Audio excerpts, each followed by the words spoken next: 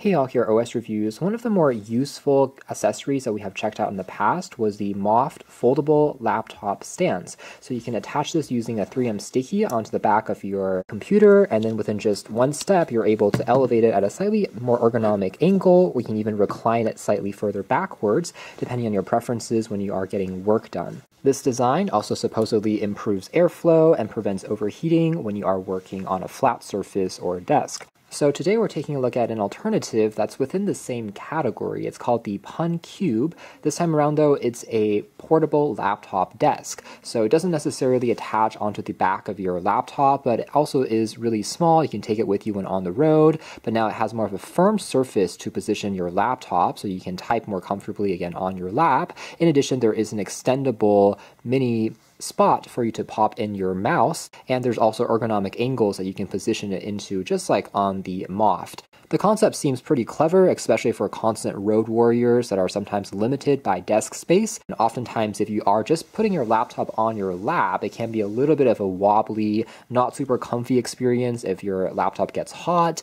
Not to mention, if you're working with a surface like device, the kickstand often requires more space, so it just tends to wobble or fall down. So, this should hopefully mitigate some of those issues. It is A4 size, like a piece of paper, quite small, compatible with laptops from 12 to 16 inches. And what's clever is you can also use the side there as a mini desk if you're writing things down on memo and you aren't using a mouse. Plus, you can also use the back here as a clipboard, which is super clever. It's a two in one design there. That being said, perhaps the only con would be pricing is a little steep, in my opinion. They're selling this right now at around $60 a pop. Granted, yes, you can get a lot of utility out of this if you are constantly traveling and want to be more productive, but I still think that if they're able to shave off maybe another 10 or 20 bucks, that could make it even more compelling as a gift idea in the holiday season. By the way, the back of the packaging also reiterates some of the different modes that we saw there from before, and we have actually a very almost like synthetic leather color and texture to this one here in a brown finish. It looks quite good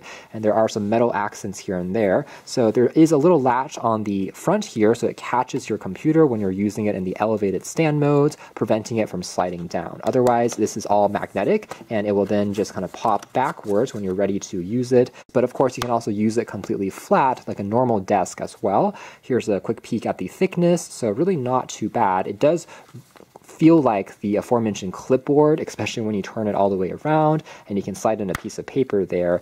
Now, this part is also where you can pull out the aforementioned mini desk to extend, use it as a mouse pad or again for writing things down, and it's relatively sturdy, has kind of a sliding mechanism there going on, and when not in use, it then locks itself back into place extra module that is a pen holder. So you can attach this onto the side. If you do have a stylus enabled laptop or again, you're using a Surface. So as a quick demo here, I'm going to first just position a 12 inch MacBook here onto the Surface. Alternatively, here's what it looks like with a 14 inch ultra portable. Here's a Lenovo kind of X1 Carbon, but I would argue that if you are getting into 16 inch territory, unless you have something like an LG Gram, which is already quite light, plus has very small bezels, uh, anything that has larger frame might be a bit of a stretch. So to be safe, I would say it's maybe a little bit more comfortable for 15 inch laptops and below.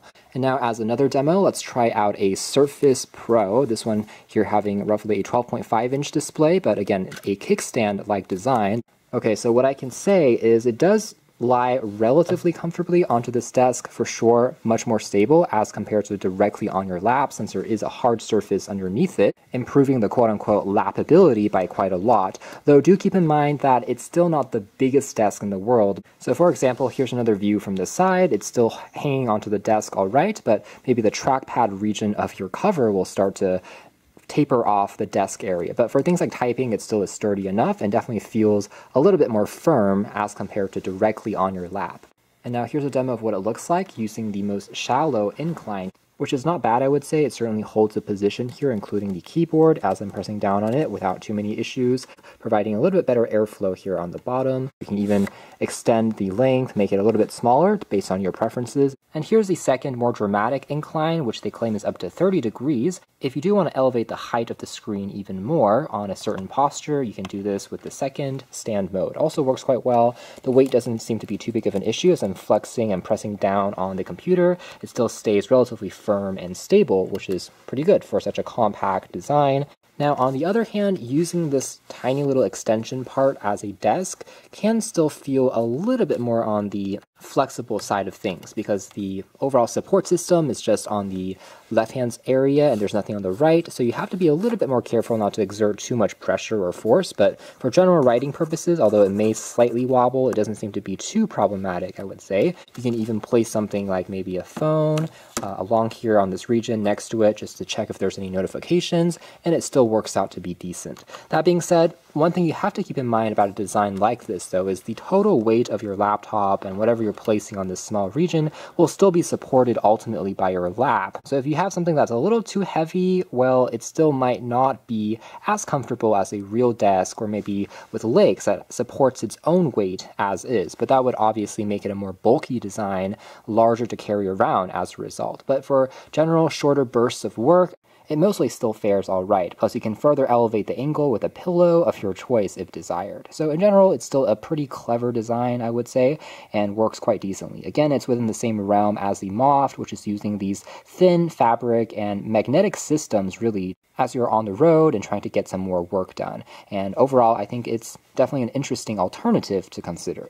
And just before we go, I will also mention that these folks do also make relatively minimalistic styled wallets, or there's another little module that you can attach yourself to store up to two house keys or mail keys at the same time. Plus on the bottom section, they actually give you an included little caliper tool if you're trying to open things like beer, if you're camping or on the outdoors. What's also clever about this design is you can remove it from the wallet and use 3M tape to stick it onto the back of your phone and now use it as like a mini kickstand. If the doors of the kind of key compartments are open, you can stand it upright in both portrait and the horizontal orientation. So a very clever two-in-one design, again using magnets. That seems to be the reoccurring theme. Again, the pocket there you can also use to store any coins and they will not really drop out. If all you want to carry is this piece, you can remove the actual wallet part and then via a simple rubber band still carry a little bit of cash inside.